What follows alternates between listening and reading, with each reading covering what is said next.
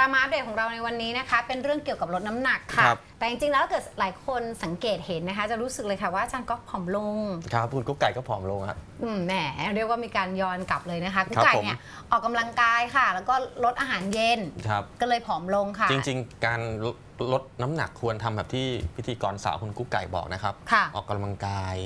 คุมอาหารควบคุมอาหารนอนหลับใช่พักผ่อนให้เพียงพอลดอาแต่หารเย็นแต่ว่าไม่ใช่ไม่ทานนะคะ แค่ครับลดให้มันน้อยลงมา แต่เห็นมีข่าวอะไรน่าสนใจนะครับวันเนี้ยมีข่าวค่ะวันนี้แต่ว่าเป็นข่าวที่ค่อนข้างเป็นเรื่องเศร้าครับค่ะ เพราะว่าเป็นการลดน้ำหนัก อาจจะเป็นการลดน้ำหนักแบบผิดวิธีนะคะนำพาไปสู่การเสียชีวิตนั่นเองค่ะ เรื่องราวเกิดขึ้นนะคะ เมื่อเจ้าหน้าที่ตำรวจสถานีตำรวจภูธรสำรงเหนือ จังหวัดสมุทรปราการนะคะ ได้รับแจ้งเหตุในช่วงกลางดึกที่ผ่านมานะคะ ว่ามีชายเสียชีวิตค่ะ ซึ่งไม่ทราบสาเหตุที่แมนชั่นแห่งหนึ่งนะคะ แล้วก็ตำรวจค่ะจึงได้รุดเข้าไปตรวจสอบยังที่เกิดเหตุนะคะ พบว่าห้องถูกล็อกจากด้านใน ก็ได้มีการนำกุญแจสำรองมาเปิดค่ะ เมื่อเข้าไปภายในห้องนะคะ ก็เจอเป็นศพของนายสุรศรีอายุ19 ปีเพียงเท่านั้นนะคะ เสียชีวิตอยู่ในห้องน้ำค่ะ ซึ่งไม่พบร่องรอยการต่อสู้หรือว่าบาดแผลนะคะ คาดว่าจะเสียชีวิตมาไม่ต่ำกว่า 12 ชั่วโมงแล้วค่ะ เมื่อมีการตรวจสอบไปในห้องในห้องนะคะ ก็พบค่ะว่ามีขวดยาสมุนไพรลดน้ำหนักนะคะ วางอยู่หลังตู้เย็นจำนวน 2 ขวดค่ะ มีสลากสีเขียวแล้วก็สีส้มนะคะ ตอนนี้เนี่ยก็ได้เก็บไว้เป็นหลักฐานค่ะ เจ้าหน้าที่นะคะ ก็สอบถามไปยังนายอาทิตย์ค่ะ อายุ 23 ปีนะคะ ซึ่งเป็นเพื่อนของอผู้เสียชีวิตนะคะ ก็เล่าว่าผู้เสียชีวิตเนี่ยไม่มีโรคประจำตัว แต่ช่วงหนึ่งสัปดาห์ที่ผ่านมาค่ะ มีอาการแปลกๆนั่นก็คือ มีอาการดื่มน้ำมากผิดปกติ ดื่มวันละ 4-5 ลิตรเลยนะคะ แล้วก็ต้องแวะซื้อน้ำดื่มตลอดค่ะ จนเมื่อวันที่ 23 พฤษภาคมที่ผ่านมาช่วงค่ำ ผู้เสียชีวิตนะคะผู้ตายเนี่ยได้มีการโทรมาบอกกับตนนะคะว่าให้มานอนเพื่อนหน่อย ตนก็บอกว่าเดี๋ยวไปละกัน แต่เสียงของผู้ตายเนี่ยเหมือนคนไม่สบายค่ะ จนกระทั่งคุณอาทิตย์นะคะ เพื่อนของผู้ตายเนี่ยเดินทางมาหาในช่วงประมาณ 1 นาฬิกานะคะของวันรุ่งขึ้น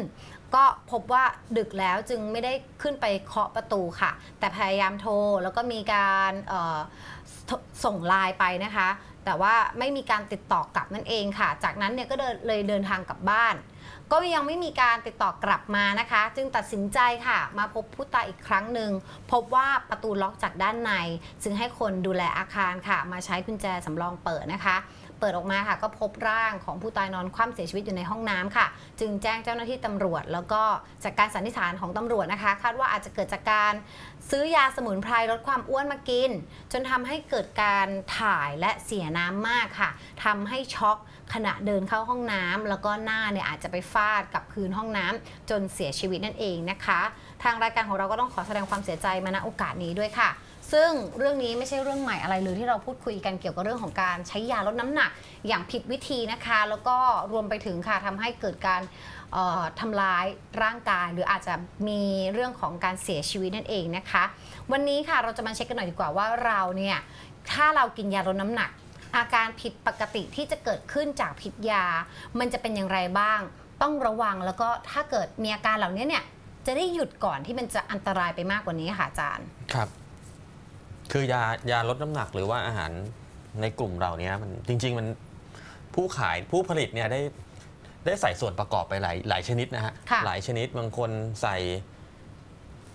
ยาที่ทำให้ท้องเสียกินไปแล้วก็ถ่าย อืม บางคนใส่ยาที่มันไปกดระบบประสาทไม่ค่ะ ให้อยากอาหาร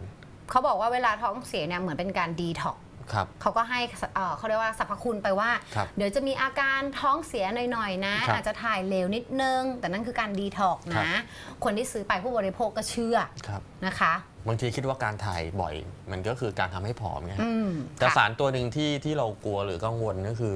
สารที่ชื่อว่าไซบูทามีนค่ะ นะครับเพราะว่าสารตัวเนี้ยถ้าได้รับในปริมาณที่มาก หรือว่าสะสมเป็นเวลานาน หรือในแต่ละคนที่รับประทานสารตัวนี้แล้วตอบสนองต่อร่างกายที่มันแตกต่างกัน นะครับก็จะส่งผลให้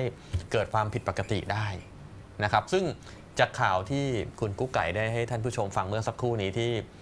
ผู้เสียชีวิตรับประทานน้ำเยอะนะครับเพราะว่าสารตัวนี้จะทำให้เกิดอาการปากแห้ง คอแห้งแล้วก็หิวน้ำบ่อยนะครับซึ่งการหิวน้ำบ่อยในรับประทานน้ำเท่าไหร่ก็ไม่หายนะครับเขาก็ต้องกินน้ำไปเยอะๆเยอะๆเยอะๆส่วนหนึ่งก็ทำให้ท้องเสียด้วย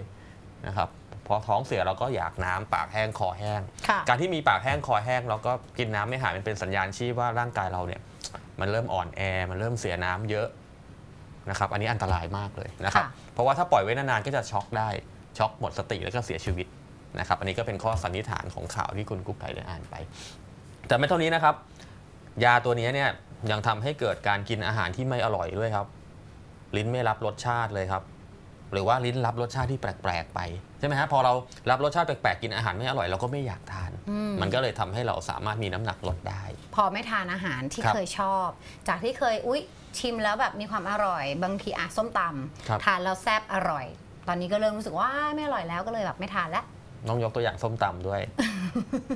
มันดูชัดเจนไงโอเคคะครับ อะต้มยำกุ้งก็ได้ค่ะได้ครับ นอกจากนั้นอาการอาจจะมีอาการเวียนศีรษะค่ะ นะครับ มึนหัวคล้ายคนเมาเมาๆอืมนะครับก็เป็นยาเนี่ยไปกดระบบประสาทไว้นะครับ บางคนก็จะปวดศีรษะ มีอาการปวดศีรษะได้ขึ้นไส้นะครับค่ะหรือว่ามีขั้นถึงขั้นอาเจียนออกมานะครับ ระบบขับถ่ายก็จะผิดปกติได้ครับ มีอาการท้องผูกขับถ่ายรวนนะครับ มีความรู้สึกไม่สบายตัวหรือว่านอนไม่หลับนะครับ ถ้าเป็นเยอะมีอาการใจสั่นหัวใจเต้นเร็วก็อย่างที่ผมได้กล่าวไปเมื่อสักครู่นี้นะครับ การทำงานของระบบไหลเวียนโลหิตก็จะผิดปกติไป อืม รวมถึงอาจจะมีอาการปวดตามร่างกายต่างๆ เช่น ปวดขาปวดข้ออะไรพวกนี้ อันนี้เป็นสัญญาณเตือนสำหรับคนที่ได้รับสารไซบูทรามีนที่มันผสมอยู่ในอาหารที่ทำให้ลดน้ำหนัก ส่วนใหญ่นะครับจะได้ยินเลยนะคะ ว่าถ้าเกิดทานแล้วเนี่ยใจสั่นเนี่ยอันเนี้ยครับได้ยินมาเยอะมาก ครับใจสั่นเป็นอาการแรก ๆ ที่หลาย ๆ คนแบบบอกมา ครับแล้วก็ต่อมาก็จะเป็นเรื่องของเหมือนแบบว่า เหมือนอาการเบลอๆอะค่ะ ครับผม เบลอๆหน่อยพูดไม่ค่อยรู้เรื่องความจำในระยะต่างๆเนี่ยสั้นลงไปเรื่อยๆ อะไรแบบเนี้ยค่ะ ก็ต้องลองสังเกตดูนะครับว่าเรารับประทานอาหารที่เป็นอาหารเสริมอาหารลดน้ำหนักแล้วมีอาการเหล่านี้หรือเปล่า นอกจากนี้ยาตัวนี้คุณกุ๊กไก่ทราบไหมครับ เป็นยาอย่างที่ผมได้บอกไว้เมื่อต้นรายการว่า เป็นยาที่ถือว่าเป็นยาที่ออกฤทธิ์ต่อจิตและประสาทค่ะ ทำหน้าที่กดระบบประสาทส่วนกลางไว้อืม นะครับพอกดระบบประสาทเนี่ยก็จะทำให้ มันเหมือนเสพมันเหมือนติดยามันเหมือนค่ะเสพยา คนบางคนก็จะมีอาการคุ้มคลั่งประสาทหลอนนะครับหรือว่ามีความผิดปกติที่แบบต่อระบบประสาทต่างๆ ได้เลยยาตัวนี้ เพราะฉะนั้นยาตัวนี้จึงเลยเลยถูกถอนออกไปจากการใช้ยาตัวนี้แล้วเพื่อการรักษานะครับนอกจากนั้นก็จะส่งผลให้เกิดระบบไหลเวียนโลหิต ระบบหัวใจทำงานผิดปกตินะครับก็ถึงขั้นทำให้ผู้ป่วยนี้มีอาการช็อกหมดสติหรือว่าเสียชีวิตได้ อันนี้ก็เป็นความรุนแรงของยาตัวนี้ ใช่แล้วค่ะ เพราะว่าช่วงนี้นะคะ เชื่อว่าหลาย ๆ คนค่ะ ก็คงจะได้ยินชื่อยาตัวนี้นะคะสำหรับไซบูทรามีนนั่นเองนะคะ วันนี้ก็มีการแถลงข่าวเกี่ยวกับเรื่องของเออตัวผลิตภัณฑ์ที่ผิดครับกฎหมาย แล้วก็รวมไปถึงมีเหล่านักแสดงดาราที่มีความเกี่ยวข้องด้วยนั่นเองนะคะครับแต่ว่าล่าสุดเลยค่ะ คุณผู้ชมขาทางนายแพทย์เรศนะคะ กรันในยระวิระวิวงศ์ค่ะ รองปลัดกระทรวงสาธารณสุขนะคะ ได้ออกมาให้ข้อมูลนะคะว่าตอนนี้ ประเทศไทยของเราได้มีการถอนทะเบียนนะคะ ยาไซบูทามีนตั้งแต่ปี 2553 ค่ะ เพราะว่าไม่มีประโยชน์ทางการแพทย์ และเป็นอันตรายเนื่องจากมีฤทธิ์ต่อประสาทส่วนกลาง อย่างที่อาจารย์บอกนะคะทำให้รู้สึกไม่อยากอาหารที่ผ่านมาก็พบว่ามีการลักลอบใส่สารดังกล่าว ในผลิตภัณฑ์เสริมอาหารค่ะทำให้อาหารเนี่ยไม่บริสุทธิ์นะคะ จนมีคนรับประทานแล้วก็เกิดเสียชีวิตหลายรายด้วยค่ะ คณะกรรมการวัตถุนะคะ คณะกรรมการวัตถุออกฤทธิ์ต่อจิตและประสาทค่ะ จึงมีมติยกระดับความรุนแรงของสารไซบูทามีน ให้เป็นวัตถุออกฤทธิ์ต่อจิต และประสาทประเภทที่ 1 ตามพรบวัตถุออกฤทธิ์ต่อจิต และประสาทปี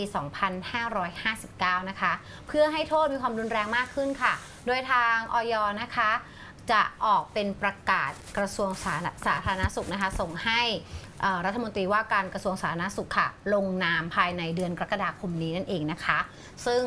ช่วงนี้อย่างที่บอกค่ะ เราจะได้ยินครับได้ยินชื่อยาตัวนี้เนี่ยเยอะมาก แล้วก็มีผลิตภัณฑ์เสริมอาหารในท้องตลาดบ้านเรา ถึงแม้ว่าจะมีสัญลักษณ์ออยแล้วนะคะ แต่พอไปตรวจเช็คจริง ๆ ก็ครับมีสารตัวนี้เนี่ยปนเปื้อนอยู่ด้วยเช่นเดียวกัน ดังนั้นเนี่ยการที่เราดูตามเอ่อโฆษณาชวนเชื่อต่างๆนะคะ หรือว่ามีการพูดกันปากต่อปาก จริงๆ แล้วเราเราสามารถตรวจเช็คได้ บางคนเนี่ยก็บอกนะคะว่าตรวจเช็คแล้วล่ะ เห็นแล้วนะว่ามีเลขออยครับ แต่ว่าทำไมยังมีสารสารที่เป็นสารต้องห้ามอยู่ล่ะคราวนี้ก็ต้องกลับไปแล้วล่ะค่ะว่าการขอออยเนี่ยมันทำให้เอ่อสารเหล่านี้หรือว่าผู้ที่ผลิตเนี่ยสามารถท สิ่งนี้ออกมาได้ง่าย ๆ แบบนี้เลยเหรอ ครับผม นะคะ ก็เป็นหนึ่งเรื่องต่อไปที่เราต้องต้องติดตามกันต่อนั่นเองนะคะ ก็อย่างที่บอกนะคะ ว่าการลดน้ำหนักอย่างถูกวิธีค่ะอาจารย์ เราบอกตลอดเลยก็คือควบคุมอาหารครับ นะคะ จริงๆเนี่ยทานให้ครบทุกมื้อเนี่ยแหละค่ะกุ๊กไก่ไม่ได้อดอาหารเลยสักมื้อแถมช่วงเช้ากับกลางวันทานเยอะกว่าปกติด้วยครับนะคะ แต่แค่ช่วงเย็นเนี่ยเหลือเป็นแค่เหมือนอารมณ์แบบลูกชิ้นหนึ่งไม้ครับ ห้าห้าลูกเล็ก ๆ อะไรอย่างเงี้ยค่ะแล้วก็ดื่มนมแทนเท่านั้นเองนะคะ ออกกำลังกายบ้างนิดหน่อย ครับนะคะ อาจารย์ล่ะคะสุดเด็ดมีอะไรหรือเปล่านอนหลับทำไมถึงพักผ่อนให้เพียงพอแค่เพียงพอ วันนี้นอนไปสองชั่วโมง ค่ะโอพักเคผ่อนเพียครังบพอมากเลยนะคะอาจารย์